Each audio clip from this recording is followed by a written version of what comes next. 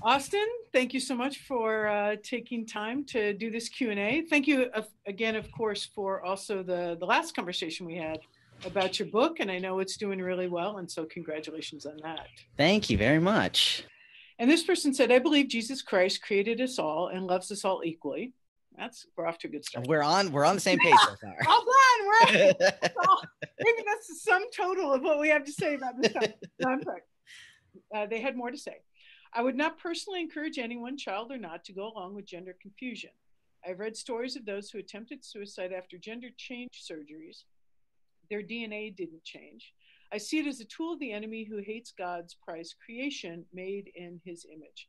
I love you too, and I care enough to tell you the truth, even if you might hate me for it. So that's the uh, direct sort of quote part of it. Mm-hmm. I know that uh, you know a fair amount of your work is working in faith communities, and this is a conversation we're going to uh, talk in a little bit about the fact it's not the only conversation is, but it's certainly one that gets uh, maybe a little bit more traction. Um, and so I know you're having these kinds of conversations in with in these faith communities on a regular basis. H- how do you how do you respond when you hear sort of not just that specific thing, but but in general um, this conflict between what does it mean to love somebody and this interpretation of scripture and what it means to be a Christian relative to other members of the faith community. Mm-hmm. Yeah, I mean, I always try to approach these conversations or or like somebody with a question like that with curiosity. I think uh, entering into a conversation in, in, sort of the spirit of curiosity can really um, it can lead to a lot more like growth and um, str- it can strengthen a relationship rather than just immediately saying like i disagree and we're just going to butt heads and just sort of like both be punching against a brick wall. If you come into it with curiosity and, and ask people you know why do you believe these specific things? and like where where can we um, what things can we maybe read together? What have you read that you'd like me to read? What have i read that i'd like you to read? And like where does this come from? Um, so really coming into it with curiosity is the main thing that i always try to do.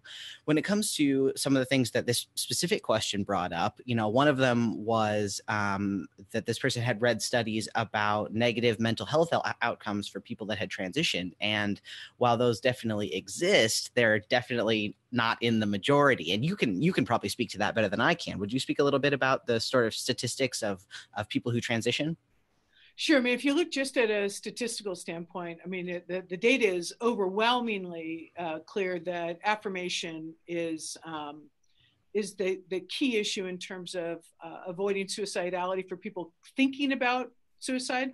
Uh, that's true if they even have a single supportive adult, that person can be not only life affirming, but life saving.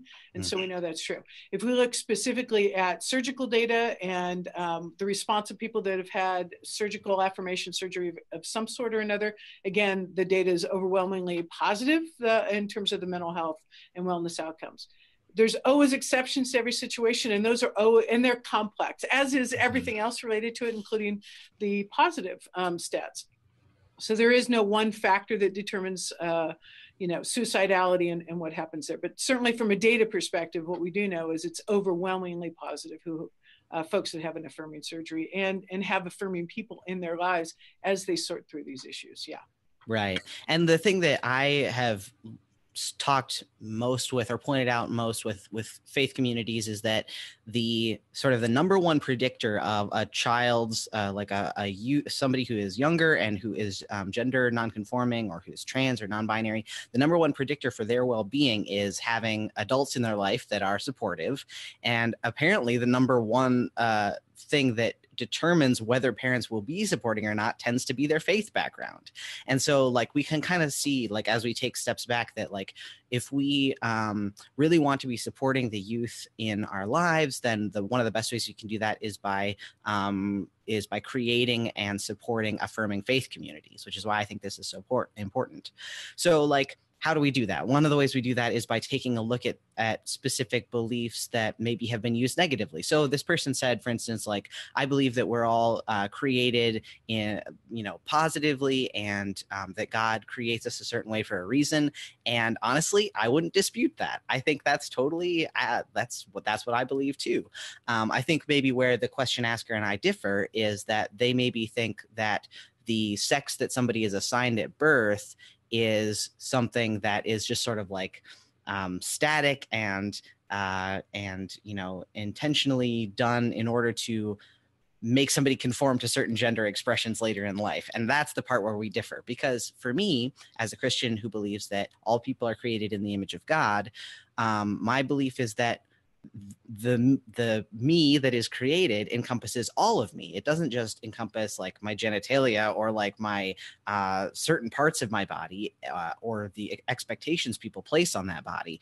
It in- incorporates my brain and how i uh, understand myself how i understand the world. Um, and so when we think about like god creating all people um, we can understand maybe people's gender identity as part of that creative process um, so that's been kind of a helpful way for me to think about it is like, um, you know, uh, Psalm 119, where it talks about, you know, we are we are created in our mother's womb, and God knew us before we were born, and all this kind of language, and thinking about the fact that that can encompass all of who we are. It's not just our body; it's all it's everything about us. Yeah, I think that's such an important point. The other thing I was reminded of when I saw that point is I really do believe this person um, that submitted the question is coming from a genuine place in their heart of love and a, a, commitment as a Christian.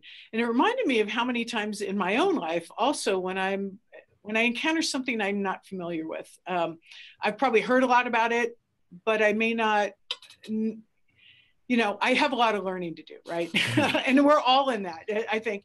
And as Christians, we have a responsibility to not just be uh, like uh, sort of others that may not have a spiritual uh, component to their life well I, I, I, sort of feel like at least in my own faith that one of the things i'm doing i'm obligated to go to the next step to understand it to learn mm-hmm. um, and i think that that's one of the things that when we look at for many people of faith just like everybody else we haven't thought that much about gender and that the things that we do know as you just said about gender are filtered through our families our experiences uh, mm-hmm. where we grow up a, a lot of other factors and that one of the challenges for me because i think there is a spiritual obligation to do more to know more is what do i do to talk to those people um, who can help me understand this experience differently firsthand. Mm-hmm. and not just those that reinforce my existing perspectives and beliefs but those that have a different experience. So it seems interesting to me for example from a theological standpoint of course there's many affirming christians that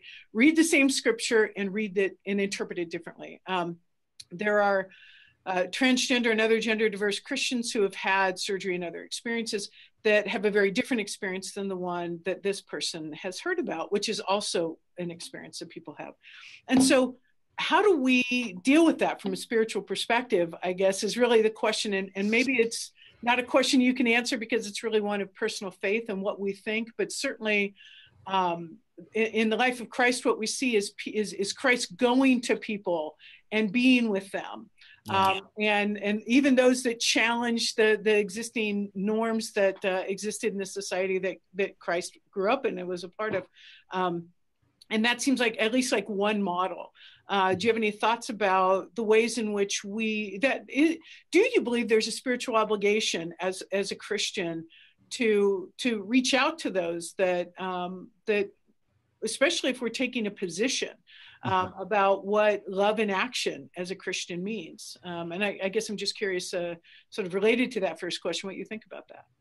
Yeah, I mean, I definitely think there's an obligation on Christian communities always to work for the good of anybody who is um, struggling and anybody like especially groups that are oppressed and especially groups that are um, being um, uh, put down in any way. I think that's definitely something we're called to do. And so, you know, for me, it always comes back to um, when it when we're looking at things through a Christian lens in a Christian context, it comes back to Jesus saying, you know, the greatest commandment is to love God, and the second is like it to love your neighbor. Um, and so, if if we as Christians filter everything through that lens of does this help us love God and love our neighbor, that is going to um, that's going to determine the way that we act in the world, and it's going to determine how we support people. I think where things get lost in translation is that bit like that's the question asker's second part of that question which says like i love you enough to tell you that this is wrong you know that like what does loving our neighbor actually mean? What does it actually look like? Um, and i think when we get to that point we have to take a look at what the effects of our theology are. Um, my friend Matthew Vines um, started this wonderful group called the Reformation Project, and I definitely recommend people check it out. Um, but it's specifically to dialogue with um, other Christians who don't believe the same things we do about like LGBT people. And um, he says that we should always look at the fruit of relationships. Um, just like Jesus says, you know, you know a tree by its fruit. It does it produce good fruit, then it's a good tree. Does it produce bad fruit? It's a bad tree. So, like, when we look at the fruit of what our theology is producing, is that fruit um, youth that are surviving and thriving and living into their faith, or is it um, youth that are maybe um, being put down by their faith and that are at a greater risk for things like suicide and negative mental health outcomes. So far, that's what we've seen is that youth that grow up in non-affirming um, households and communities that are like non-affirming because of their faith those kids tend to have a much much harder time in life um, for a lot of different reasons but but it's so like when we see that it kind of makes us think well maybe we should reevaluate how we um, sort of use our theology? Is it is it causing pain or is it causing um, uh, people to thrive in the world? Yeah, it's a it's a really it's a really important thing, and I appreciate the person who who submitted the question because it's certainly each of us has to really wrestle with that in our individual faith and and as a faith community.